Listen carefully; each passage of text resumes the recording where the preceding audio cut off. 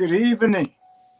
Good evening. Welcome to Grace and Mercy Tuesday night Bible study. I am Bryant Harper, my pastor Breon Johnson, senior pastor of Grace and Mercy Ministries. Um, once again, this is our Tuesday night Bible study. Um, so right now, we just want to worship God. We always start with worship. Uh, we was created to worship God. He seeks a worshiper. Weapon worship is our weapon. When we exalt God, we magnify God. We put Him first and last. He's the beginning and the end, the first and the last, the creator of all things. He's our Lord, He's our Savior. He's God forever seated on the throne. His word is forever settled. He's the supreme ruler of the universe.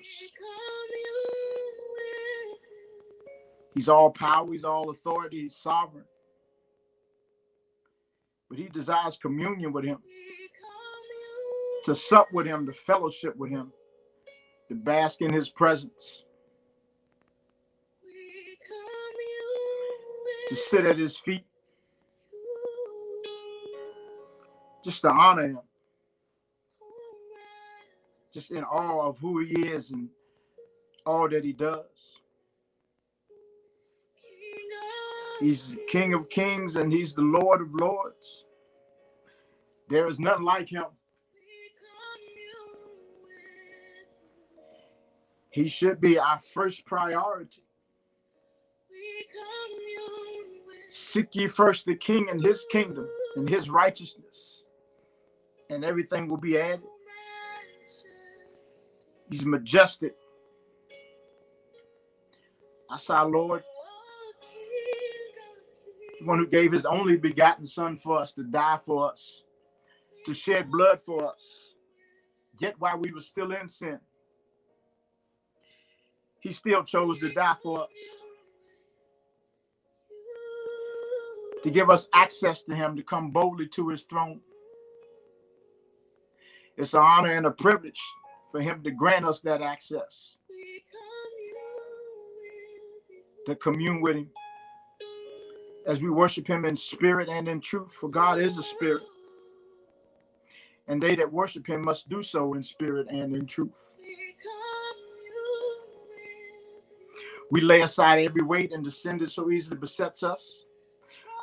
For no flesh can glory in his presence. So we want to be closer to you, Lord.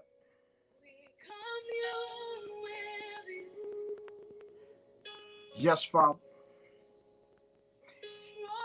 It's his loving kindness that draws us. He's drawing us closer.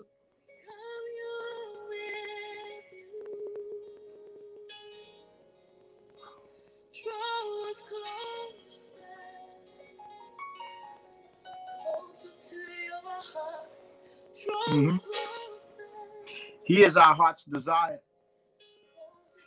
He is the object of our affection. Yes, Lord. Closer to your heart.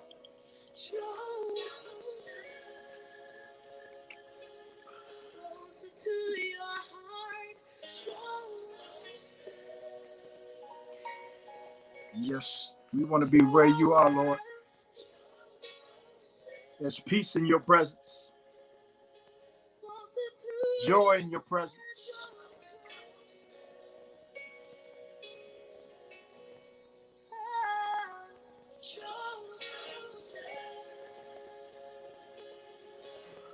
Yes, Lord.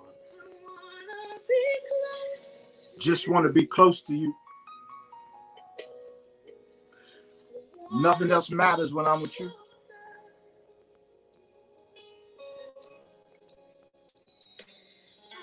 Yes, Lord. Deep calls things under deep. Want to go deeper in you, Father God.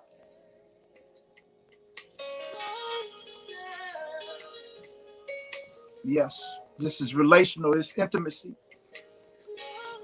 Yes, Lord.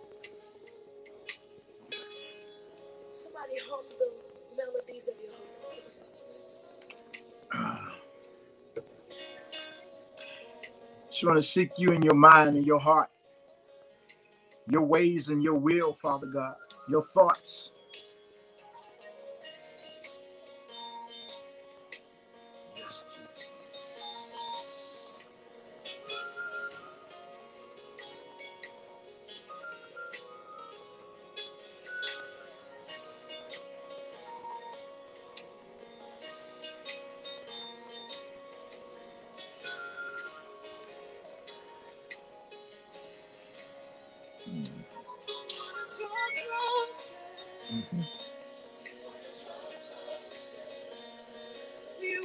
much.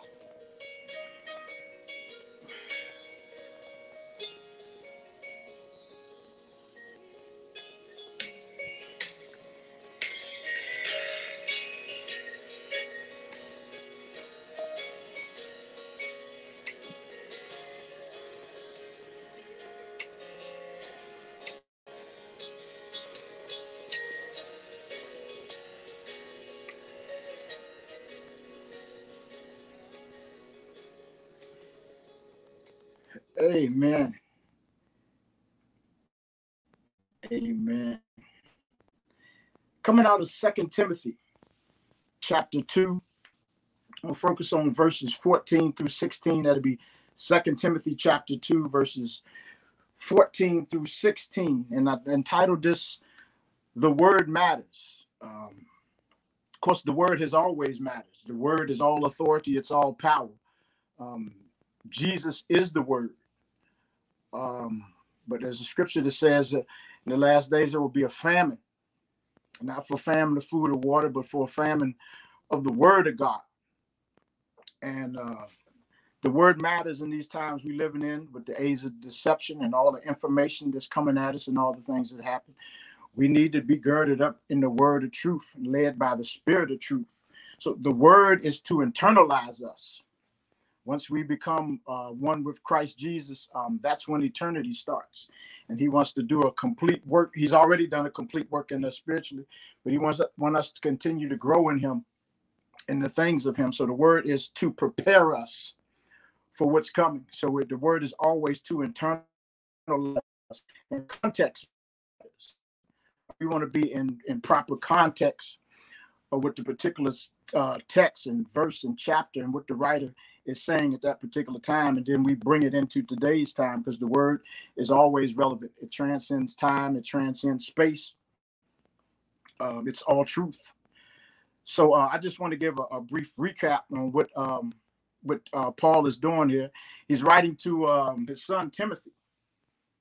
Of course, that's his uh, his son in the ministry, um, and he uh, telling him what to do while Paul is away. He's giving him instructions uh, to continue to work in the ministry. And I know we say uh, we have our own personal relationship with God, um, but we always have to submit to some type of authority.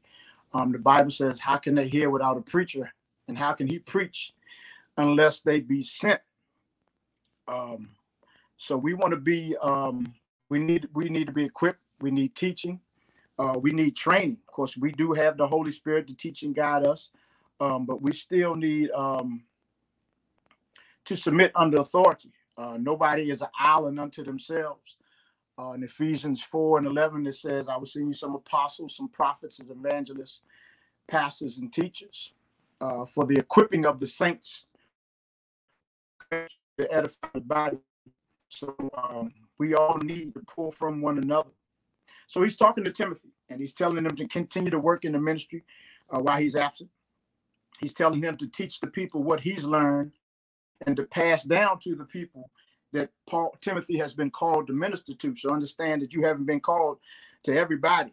Your voice is not called to everybody. So Timothy is uh, ministering to a specific people. Uh, he tells them to hardship as good soldiers and not become entangled. That's a popular word in this day and time. But that word was here long before uh, Will and Jada.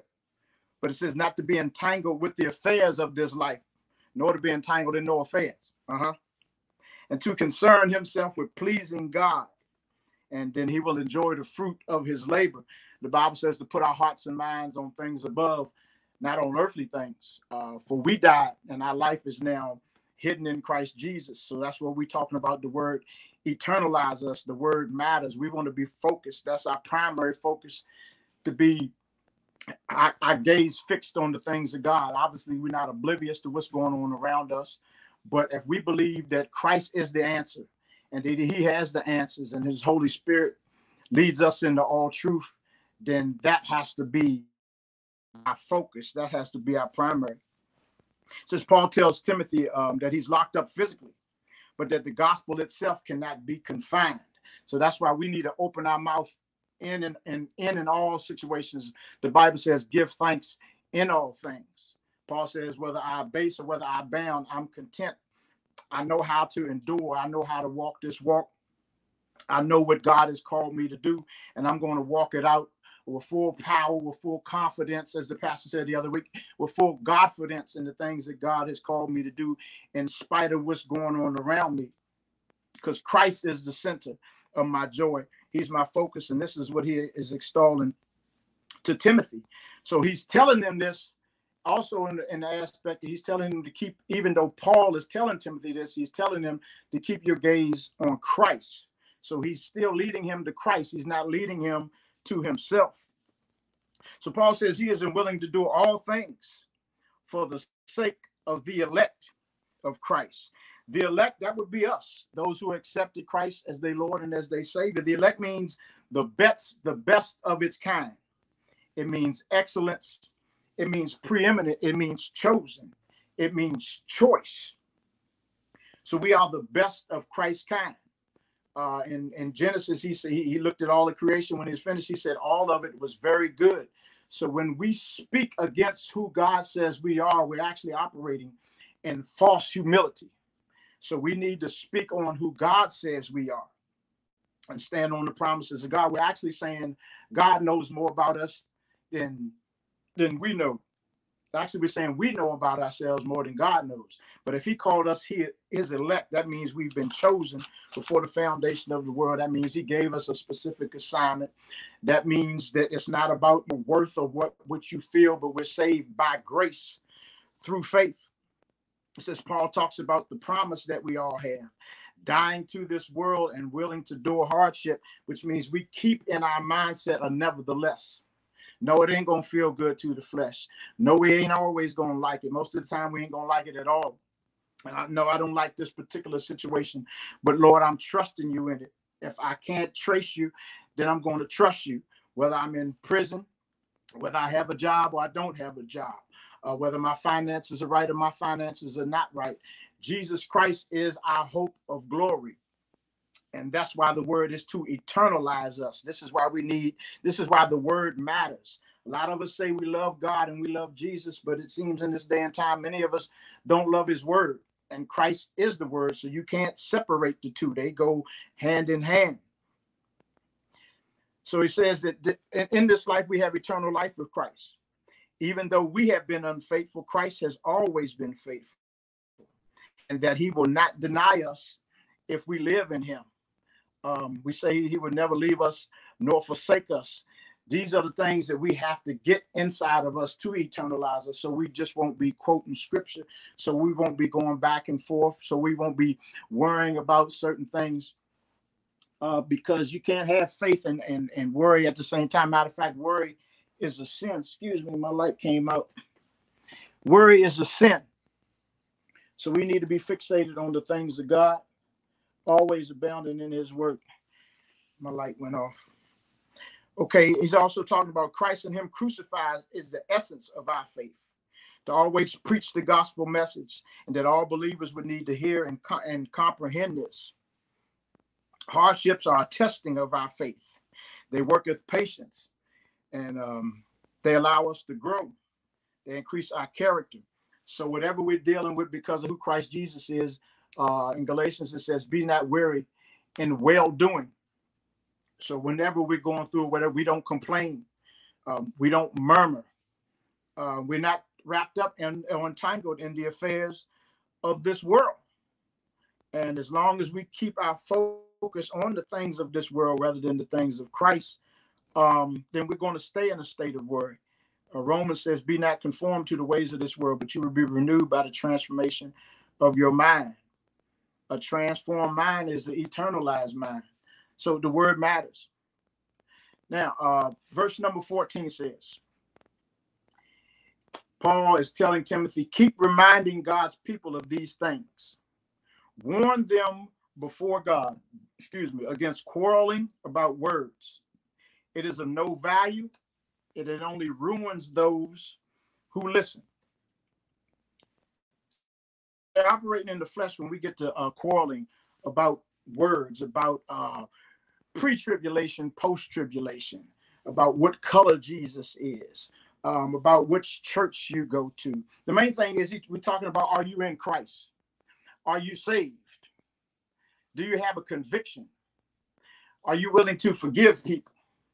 Are you willing to say, I'm sorry, instead of waiting for somebody else to say they're sorry? These are the things we're talking about when we're keeping our mind fixated on the things of God. It's that John 6 63 says, The spirit quickened, but the flesh profits nothing. So we gain nothing from operating in the flesh when he tells us to stay away from quarreling because they have no value and it only ruins those who listen because it, it doesn't eternalize them. It doesn't edify God. It doesn't bring about the things of God. Galatians 5 14, 16 says, For the entire law is fulfilled in keeping this one command love your neighbors as yourself. 15 says, If you bite and devour each other, watch out or you will be destroyed by one another. 16 says, So I say, walk by the Spirit, and you will not gratify the desires of the flesh. Um, it serves absolutely no purpose for us to be fussing and fighting and arguing about the word of God. And it seems like that's a lot of a lot of that is going on right now. Uh, people are upset at people because they won't wear a mask or people are upset at other people because they will wear a mask where if you're if you're wearing a mask then that means you're not operating in faith and if you don't wear a mask then something must be wrong with you all of these th- things that have absolutely nothing to do with the word of god now obviously we want to take precaution but it's not my job to tell you what you should and shouldn't be doing and vice versa so we should be thinking talking about the things of god they they don't benefit anything. All of this bickering amongst believers about this particular party and that particular party. We are supposed to be a unified front, a unified body, and the world is watching us. And we're supposed to be drawing people to Christ. And the only way we can do that is if we are Christ like. So we need more Christ likeness in this time that we are living in because uh, Christ is coming back for a spotless bride. A spotless bride. Verse number 15 says, Do your best to present yourself to God, or uh, King James says, Study to show thyself approved unto God. A workman who does not need to be ashamed, who correctly handles the word of truth. That word study is not study, is what we've been taught in this Western world just to memorize scripture. Um, Jesus told the religious people, You think because you know the scriptures that you have eternal life. But the scriptures testify of the person of Jesus Christ. The whole entire Bible is about the person of Jesus Christ. So that should be our focus when studying the word. Study means it means to give diligence. It means to seek out earnestly. Um, we're going on a journey with Christ. So when we study the Word of God by the Spirit of God, we're looking for the person of Jesus Christ, for Him to get inside of us and for, her, for us to manifest Him in the earth.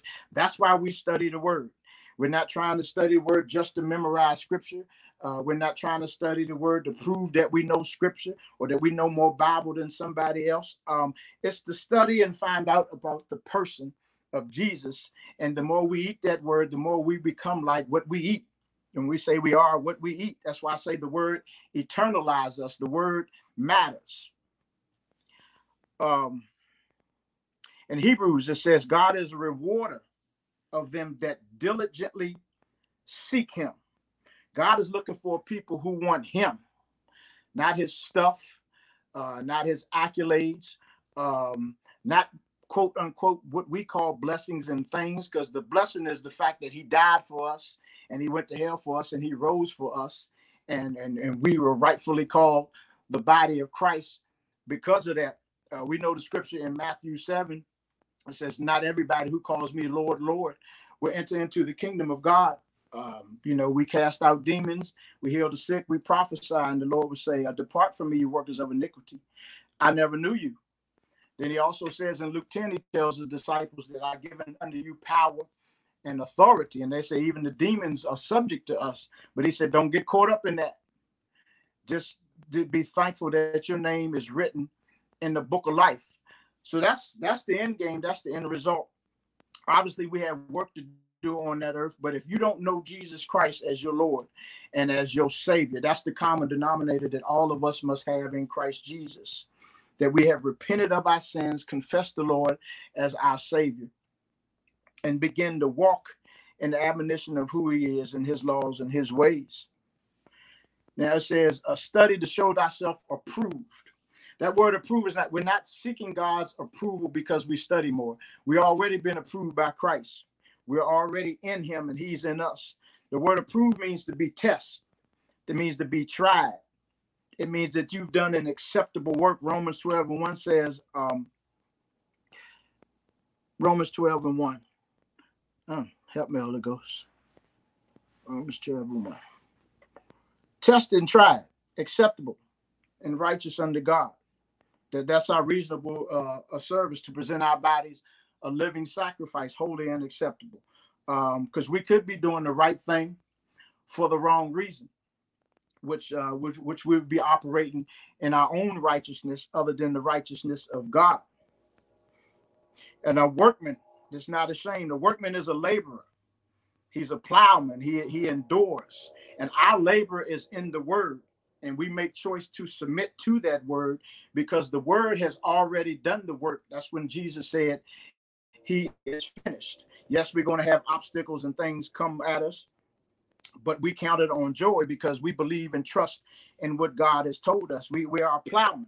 The Bible says if a man takes his hands off the plow and look back, he's not fit for the kingdom. So that's why we don't, one of the reasons we don't get caught up in the affairs of this world, because if we focus on that, then we're going to be subject to go back to the things that we used to and our conversation won't be of the things of Christ.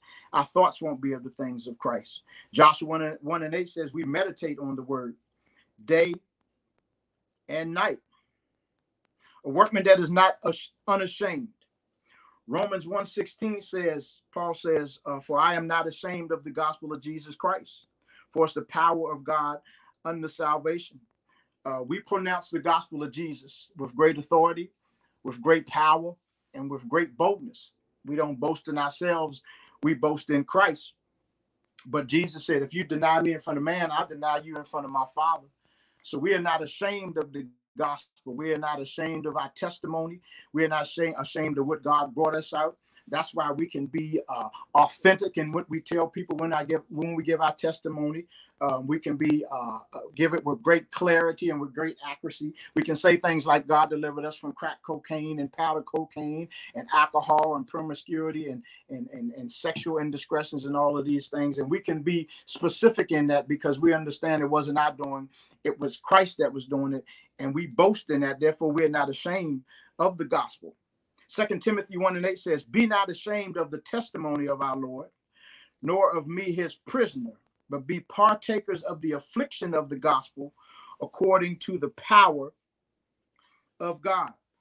Understand when he's talking about affliction, he's talking about laying down his flesh. He's talking about laying down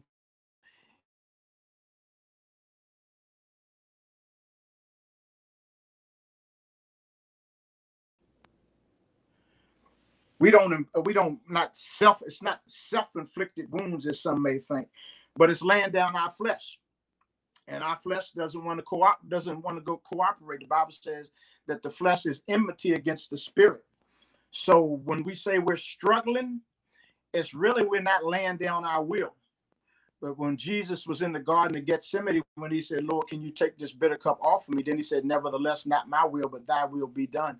Every time we say that, and acting, nevertheless, not my will, but his will be done. Every struggle has to cease. And then we move on to the next thing in God. So that means we have to constantly, on the daily, lay our flesh down. That means we lay down our will, what we think, what we feel, and what we want. And we ask God what it is that He wants and what He wants us to do and how He wants us to do it.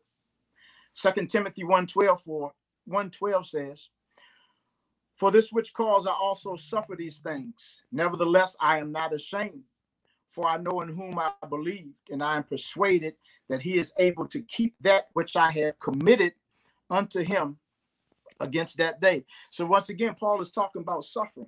We got to be a people that's going to have to learn how to suffer, that's going to have to learn how to endure hardship as good soldiers.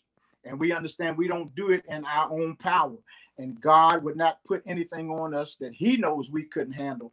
But at the same time, whatever God is asking me to do and whatever God is asking you to do, He's given us the grace to do it. So it's really not a thing of I'm not there yet. Wherever you are in your walk, God is going to require you to do something. And if He's requiring you to do it, that means He's giving you the grace to do it. We just got to move in faith. Um, we ought to be doers of the word. If it's going to internalize us, if the word really matters, then we got to be doers. James 125 says, a man who looks in the mirror, who's, who's not a doer of the word, and he's not a doer, and he looks in the mirror, it's like he never saw his reflection. It says he's forgotten it. That word forgotten means he's neglected it. That means I really it means that we've rebelled against it. We've heard the word, but we chose not to move in it, which is rebellion. I mean, we can try to chop it up any kind of way we want to. We can say we're not perfect, or we can say everybody makes mistakes. But the call on our life is to become like Christ. So uh, if we're going to word, if the word is going to eternalize us and the word matters, we have to shift our thinking. And as opposed to everybody makes mistakes and nobody's perfect, which they do, we got to say, I'm going to do the will of God. And if I'm not in line with doing the will of God, and I know I was supposed to, James also says to know what to do and not do it is sin. You just repent.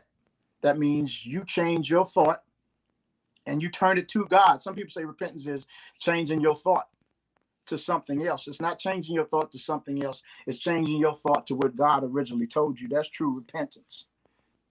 So it says, I am not ashamed, for I know in whom I believe, and I am persuaded that he is able to keep that which I have committed unto him against that day. You got to be fully persuaded that I'm going to trust God and I'm going to do it. And whatever it is that comes against me, the fact that we've here and he's brought us through what we've been through is proof positive of who he is. He's the same God. It doesn't matter the situation nor the circumstance. So the same God who brought you out of that yesterday is still the same God who wants to do or work in you, whatever your circumstances and situations is today. But we came out of that by focusing on God and not the thing that was behind us. Paul said, I count myself to have not yet apprehended in Philippians chapter 3 13. But this one thing I do know I'm forgetting those things that are in the past and I'm reaching for those things are in front of me. I press toward the mark of the high calling of Jesus Christ. But many of us have said, I count myself to have not yet apprehended. And then we stop there. That's what many of us has done. But we have a, a deserving God, a willing God, a faithful God who has proven himself time and time again. And as we grow in God, we got to understand that we're going to be stretched. We're going to be tried. And uh, the, the testing of our faith worketh patience. Um, I heard it said that a, a, man's faith who has not been tested is a man who you, who cannot be trusted. If you haven't been through anything, if you haven't endured anything, um, how can I trust you? Um, how can you effectively and truthfully say, I'm praying for you if you haven't endured anything? How do you know what to pray for? What do you know what to pray for? So we're talking about suffering. Paul did work, most of his ministry was in, in, in prison.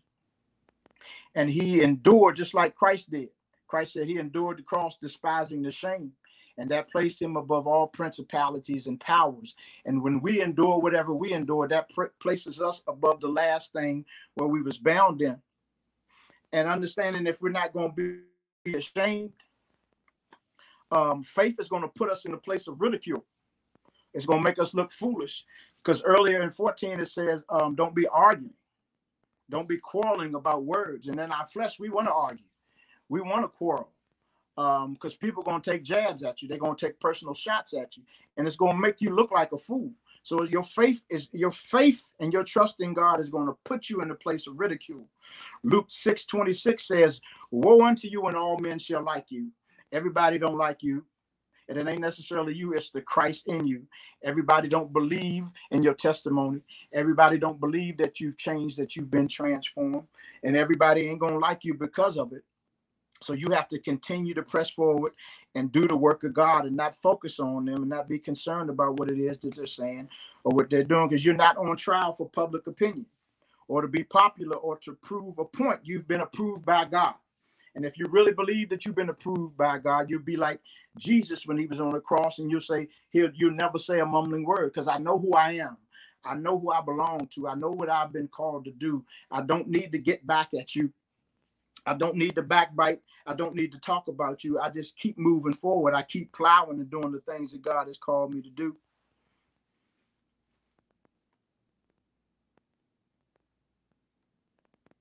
It says approved by God. It says it's, it's not saying that the more you study, the more you approve. It says, when you follow me and my word by the Spirit, you'll be tried and trusted in me through the process, proves your sonship, proves that you belong to me. It shows other people, whether they recognize it or not, in their quiet time, they're going to have to say they saw the hell that you've been through and they saw how you endured. They saw the Christ likeness that you showed when you went through this process. And you can be just like Jesus said to the Son, This is my Son in whom I am well pleased. And every time we go through a test and every time we go through a trial and we do it in a Christ like fashion, in a Christ like manner, He is going to say to you, This is my Son, this is my daughter in whom I am well pleased. And we want to be pleasing to God. Um, we are to be Christ in the earth. The same spirit that raised Jesus from the dead is the same spirit that's is alive inside of us and our natural minds can't fathom that but we are to be christ in the earth because we have holy spirit that gives us the capability and the power to do exactly everything that christ did in the earth so when you when people say um um well you think you're holier than thou and that you're a saint. We are saints. We are not sinners saved by grace. You cannot be a sinner and a saint. If you call yourself a sinner you can't pray for me because your prayers have no power. Your prayer, they are tingling, but you can't pray for me if you call yourself a sinner. You don't have the power to pray for me if you says I'm just a nobody trying to tell somebody about everybody. I we are not a nobody in Christ Jesus. If we are the elect, if we are the chosen one, if we've been set aside, if we are the best of the best, then you need to start proclaiming that and speaking that over your life. And this is the reason why many of us are double-minded, which can lead to mental illness because we're saying one thing but we're believing another thing in our heart. So the Bible says, uh, You shall know the truth, and the truth shall set you free. The truth that you know, the truth that you become one with, the truth that's set in your heart. Your heart is the seat of judgment for you. That's the seat of your belief system. So when we believe it in our heart and confess it with our mouth, then we shall be saved. Then we shall be healed. Then we shall be delivered. Then we shall be set free. It serves absolutely no purpose in God just to quote scripture, just to sound like you smart, or just to sound like uh, you know you're not the person that you're used to be. The goal for us is not to get better. I mean, it sounds good and we are better, but that's not the goal. The goal is to become like Christ. Period. That's it. Every day is to become like Christ, and Christ didn't come to this earth to get better. He came to destroy the work the works of the enemy. And that's our job to plunder the gates of hell, to advance the kingdom, to walk in sanctification. That means we are set apart each and every single day. And we must be intentional about our purpose, about what God has called us to do. If we don't know our purpose, we find that in the seek. This is that's what studying is. That's what seeking Him. We don't seek purpose. We seek the purpose pusher. We seek the hope dealer. That is Christ Jesus by Holy Spirit. And in doing that and walking it out with fear and trembling and going through the process and doing suffering and doing afflictions, that's how we find out what God is going to call us to do. And it's going to cost you. It's going to cost us. Then it says to um, rightly dividing the word of truth. Rightly divide means it means to straight. It means an accurate cut. It means a straight course. It means correctly. It says with the with with precision. So um, the Bible says that the word cuts like a double-edged sword. So we don't have to add anything to the word. We don't have to take anything from the word. If we're reading Second Timothy, then the crux of what we're talking about has to come from Second Timothy. So we got to understand what Paul is saying. We all have heard the scripture, Second Timothy 2.15, study to show thyself approved. But we want to read 1 through 14 so we can get an understanding of why he's saying what he's saying and the purpose of what he's saying and the backdrop of what's happening. Then we bring it into today's time. Um, one of the most, we, we say this term, a very familiar passage of scripture. And one of those is the race is not given to the swift, or the fast, but the one who endureth till the end. That's in the Bible, but that's two different scriptures. The beginning of that is in the book of Ecclesiastes. The end of that is in the book of Matthew. So we've took that and made it a word. That's that's not contextual. That's so so that means we've took the word out of context. So that means we've made God's word what we want it to be.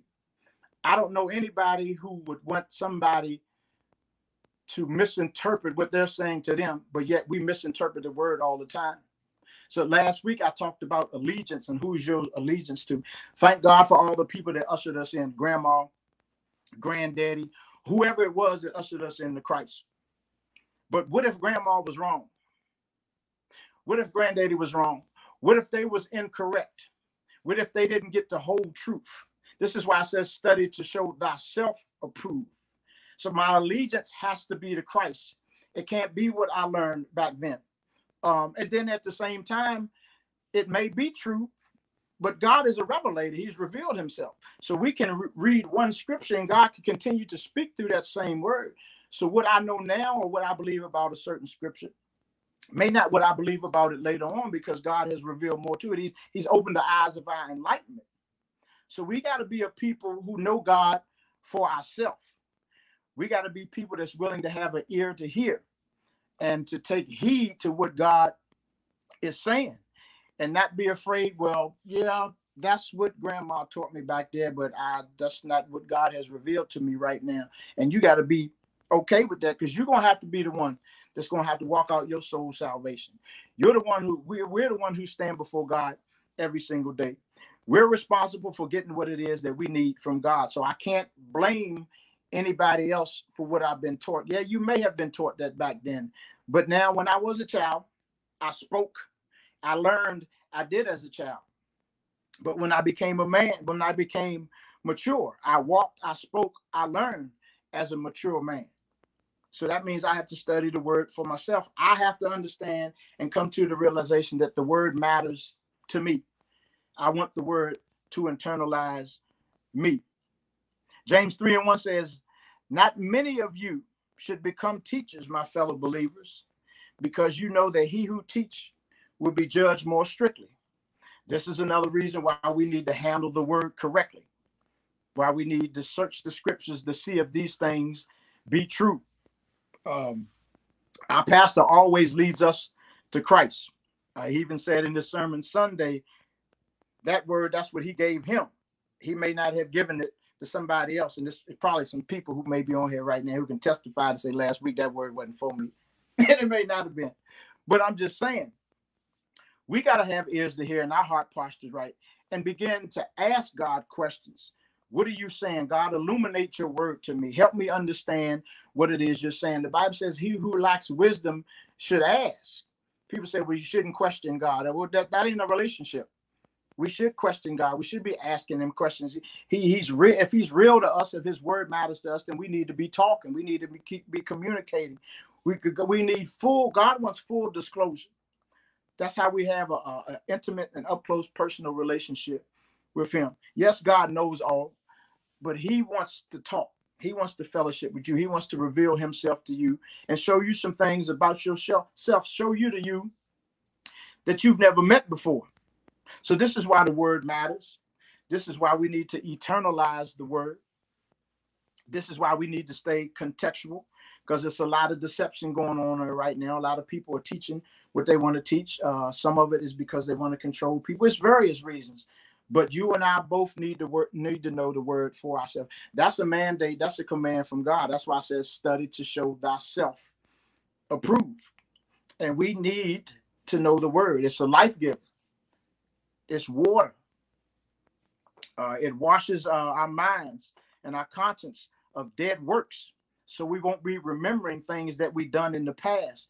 And you can't do that with a dip and dab type relationship. You've been in relationships before, you've been in marriages before, whatever the case may be. Two hours on, two hours one day a week, that's not a relationship. Yeah, that's not a relationship. That's just wanting God when we want God, or we want what we want, or we want to get out of it, or we want to make ourselves feel good because we came to church. We're gonna have to stop playing patty cake with this thing. Uh, the gospel is bloody. The gospel is real. The gospel is true. The gospel is all power. It's all authority. And anytime you got you got demonic powers coming against you and against your family, everything in you is going to have to change. We've talked about this several times before, but we got to grasp this concept that, like the past, this fight is real. This assignment is real. Souls are at stake. So we cannot be afraid or ashamed, as Paul says, to declare and decree and pronounce the gospel of Jesus Christ. That's what he gave us Holy Spirit for while we're on this earth to do what it is that he called us to do with great power, with great authority, and with great boldness because we understand God is before us and he's behind us. He's already done the work, he's already finished the work. He said, The righteous are as bold as a lion. You are the righteousness of God. It serves no purpose for you to keep reminding yourself of all the things that you're not when God says who you are in Him. You are complete in Him. You're blameless before Him because of the blood of Christ Jesus. The blood has washed away all of our sins. We are no longer sinners. We are saints. We are the elect. We are a superpower in the earth. We are Jesus Christ in the earth because of the power of Holy Spirit.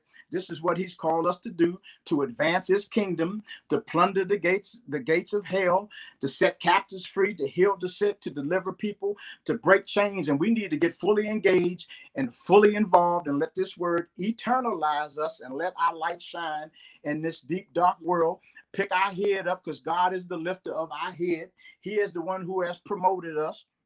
He is the one who has done a good work inside of us, and He will complete it until the end. And you will finish your race. You will birth out what God has called you to birth out. But we got to move, myself included. I got a strong rebuke from God this week while I was on vacation. And he's like, He told the disciple, how, how long am I going to be with you? How long do we keep have to having this same conversation about stuff you know you need to do? If you say you have faith, if you say you're gonna step out of the boat, you keep saying, "Well, it's it's my time." Well, if it's your time, we, we got to show ourselves approved. We got to step outside of the out of the boat, and we got to walk in the things of God, and we got to begin to move. And we cannot be concerned about what people are saying or what people are doing. It's written in His Word. People gonna come against you. We got to be discerning in this hour. We got to have word inside of us, not just quote scripture, but word. The spirit of truth. I pray that come alive inside of you, the spirit of wisdom, the spirit of revelation. And we shall walk in all the things that God has had and called us to walk in. And when I say things, I'm not talking about stuff. I'm talking about the things of God. Uh, inside work, the outside to take care of itself. Because once you get, he starts to do a work inside of you, you'll start to see different you'll start to look at things different. Your perspective will change because you'll be seeing things from God's point of view instead of our own point of view. So some of the stuff we buy and some of the situations we got ourselves into is because of rejection or because we don't feel worthy or because it makes us feel good. But we got to get an up close and personal relationship with God and understand that he is real, that he is alive inside of me and he wants the absolute best for me. And that's to walk in peace, joy, and righteousness in the Holy Ghost. That's the kingdom of God. That's the word that eternalizes us. That's the word that matters. So this week, get that in your mind. The word matters. Meditate on it, chew on it, sit at the table, bask in his presence, talk to him all day, every day about any and all situations going on in your life, and begin to thank him for what you have and where you are at this juncture in your life. So that's my time. Uh, y'all have a blessed week. Uh, I hope this word bless you. I hope it speaks to your heart. And um, I pray that uh, it manifests in your life. Peace.